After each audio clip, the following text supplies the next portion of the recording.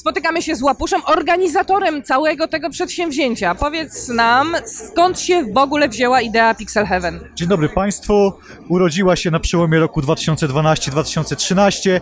Ja jako stary ZX spektrumowiec, komodorowiec, amigowiec zapragnąłem spotkać się w gronie podobnych mi ludzi, e, spędzić miło dzień, e, wypić piwo i pójść do domu. E, okazało się, że, że impreza się rozrosła w sposób niekontrolowany w roku ubiegłym. Ile osób było w zeszłym roku? Około 1200 osób się przewinęło rok temu przez CEDEK.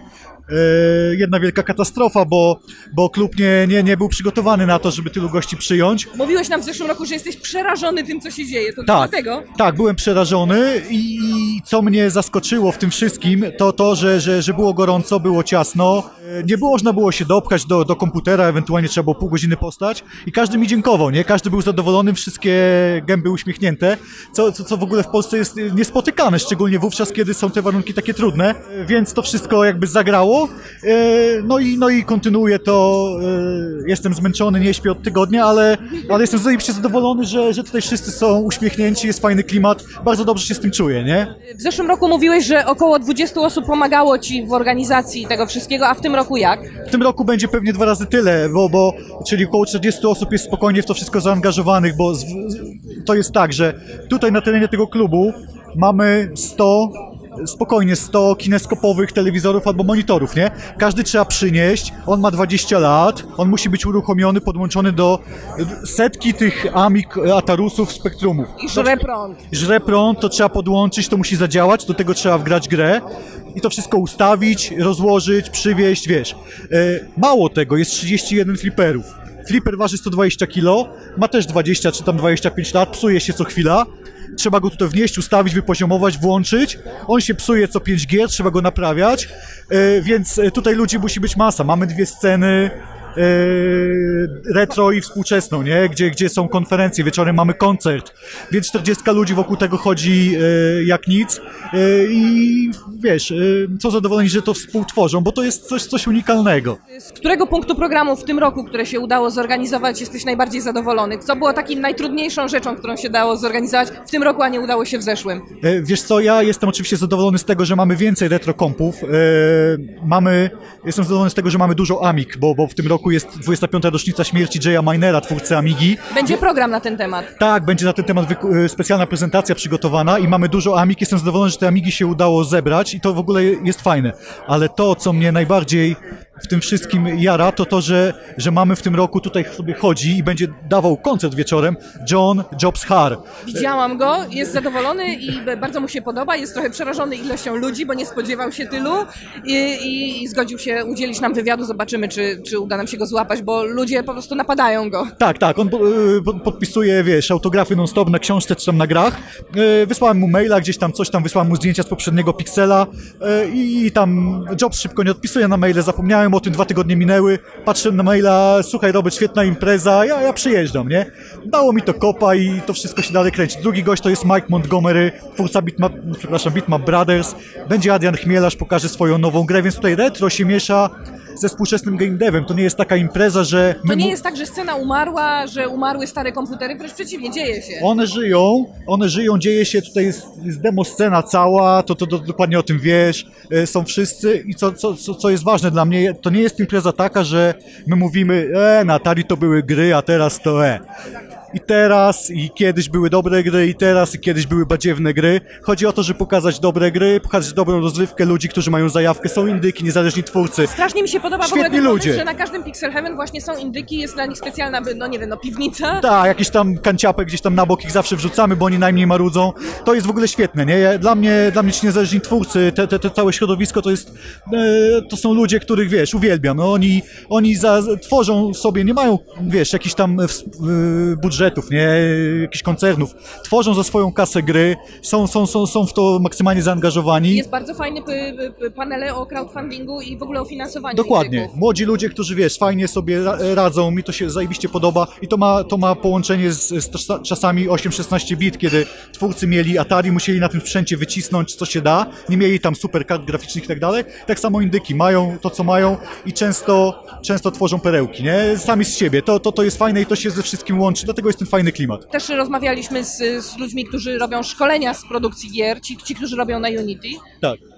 Te, też bardzo fajny pomysł. Skąd ich w ogóle wytrzasnąłeś? Tak, to, to, to wszystko jakby się samo nakręcało, nie? Bo, bo yy, to się tak rozchodzi w branży, że ci ludzie często sami do mnie trafiają, wiesz. I potem się dzieje coś takiego, że, że ludzie przychodzą, a dla mnie nie ma stolika, no bo, no bo zabrakło, ale nikt nie ma ludzi. To, to jest fajne, nie? Każdy sobie miejsce znajduje i jakby tak w sposób y, oddolny, nie? Nie to, że ja narzucam jakiś pomysł, tylko, Tylko w sposób ludzie się oddolny. zgłaszają? Tak, w sposób oddolny się tworzy dobry klimat, dobra impreza. Nie to, że jest coś wymyślone i w te ramy to wbijamy, tylko te ramy jakby od ludzi do mnie trafiają się same tworzą, nie? To, to, to jest fajne ułatwienie, jakby nic na siłę nie narzucam. To wychodzi od ludzi, gdzieś tam z mojej głowy, od ludzi to się łączy i potem się samo kręci, nie? Ja czekam jeszcze y, trochę na tę obiecaną, y, obiecaną wystawę komiksów PRL-u, która w zeszłym roku nie wyszła i w tym roku Wystawa też, komiksów? PRL-u jest w ogóle pierwszą rzeczą, którą nawet zapłaciłem za nią, bo, bo, bo jest taki koleś w Toruniu, e, który Wojtek, który, który tworzy za, fajny, jest kuratorem, jest i zapłaciłem mu jakieś tam sensowne nawet pieniądze za to, że on wydrukował fajne, Mhm. unikalne jakieś tam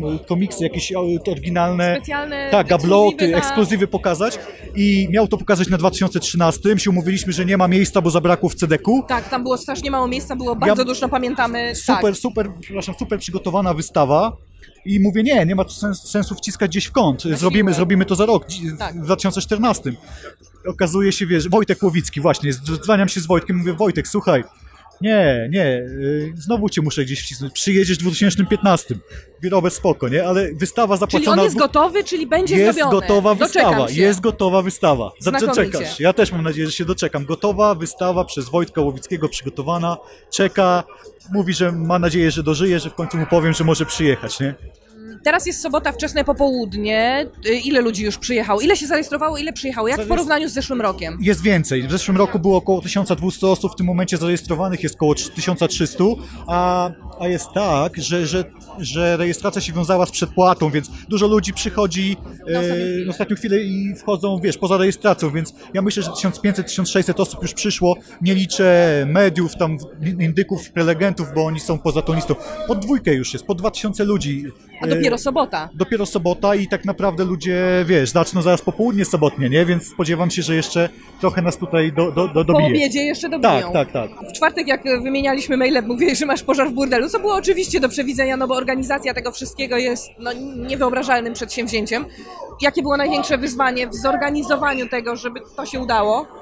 Znaczy techniczne rzeczy, zdecydowanie e, przywiezienie tych e, wspomnianych 100 monitorów, starych komputerów i fliperów ich uruchomienie i tutaj wniesienie, nie?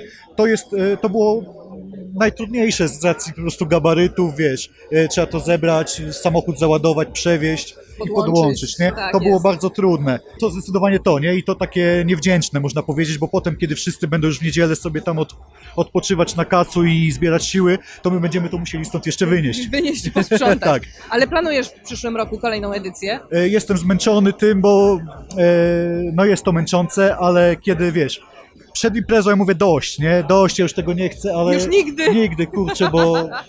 Ale widzę, co, co się dzieje i mówię, szkoda by było się nie zebrać. Mi tam wiesz, miesiąc minie i się znowu mi zachce, nie? Mam już pomysły na przyszły rok, mam tą wystawę y, komiksów, no muszę robić. Przede wszystkim muszę. tak, ona, ona się musi odbyć, w związku z czym będzie następny Będzie, Pixel będzie, Heaven. będzie, będzie. Skąd idea Pixel Heaven? Ja jestem gościem, który, e, który rodził się w 77 dokładnie. No, ja też.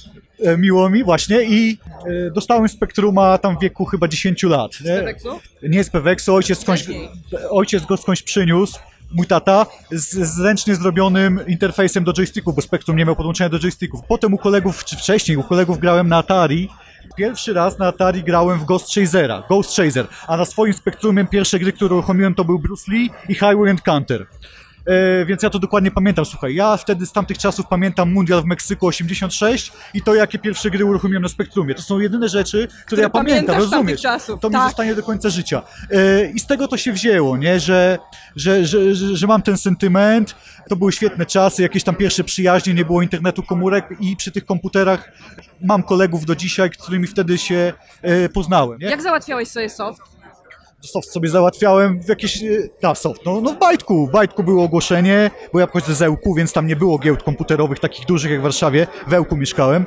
E, Kupowałem Bajtka, w Bajtku były oficjalne ogłoszenia, e, lista gier, kupujesz, na poczcie ci przychodzi kaseta nagrana i to wiesz, grzałem na tą pocztę podjarany, włączałem kasetę i w ten sposób się to działo. Potem w Ełku się pojawiła giełda, więc tam na giełdzie się kopiowało, najpierw kasety, potem dyskietki na Amidze i to mi się wryło, nie? To, to zostało we mnie na zawsze i jakoś tam e, poznawałem ludzi, w których też to jest, zobaczyłem, że to żyje. A w jakiej branży pracujesz tak zawodowo na co dzień? Ja zawodowo robię nudne rzeczy, bo, bo, bo ja e, organizuję eventy, ale biznesowe, nie? Ale masz doświadczenie z organizacją tego rodzaju, więc Tak. skąd pomysł na Pixel Heaven? No właśnie stąd, że, że myślę, umiem robić eventy, e, jest fajne towarzystwo, e, zrobię imprezę, zobaczę, może ludzie przyjdą, na pewno będzie fajna zabawa. Wymyśliłem to w ten sposób, że chciałbym zrobić imprezę taką, na którą ja bym chciał pójść, moja wymarzona, nie? I pomyślałem, że będzie paru tam frików tego typu, którzy też przyjdą. Okazało się, że wiesz, się nie pomyliłem, paru przyszło, nie? Paru przyszło.